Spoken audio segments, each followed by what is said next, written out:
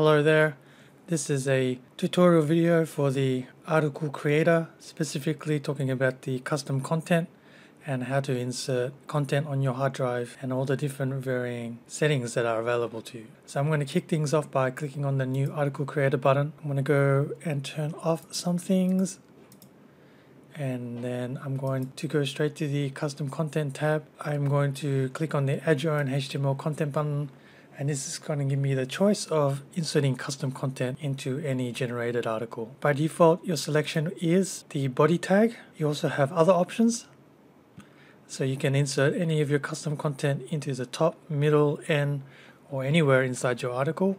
And finally, you can have it inserted into the body template tag. Now, the difference between these top four options that are top, middle, end, anywhere, and the bottom option is if you select any of these top four options, your content will be inserted as is. So no processing will be done on it. So that means that your content that is inserted won't be wrapped in the template start and end tags. Also, if you're going to insert links into your article, if you use any of these top four options, links will not appear in them.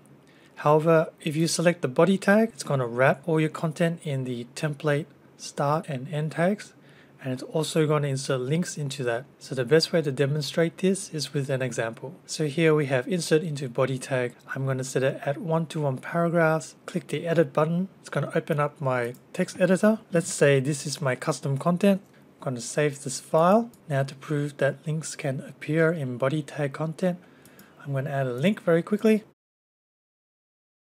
Now I'm going to change the article count to 5 so we can see a couple of different variations. The next setting that you want to take notice of is paragraph count. So this controls how many paragraphs will appear in the body template tag. So if I have selected 5 here and in addition my custom content has specified 1, my final article is going to have 6 paragraphs. So to see this in action, I'm going to hit the run button.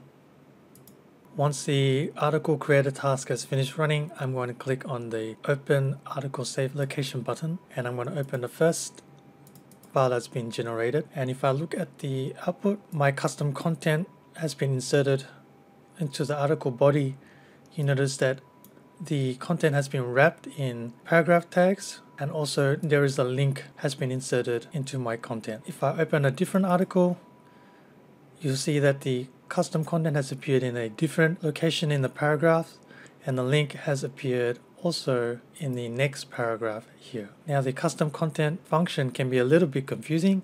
If you have any questions, please feel free to leave a question in the video comment area down below or send me an email anytime info at seocontentmachine.com.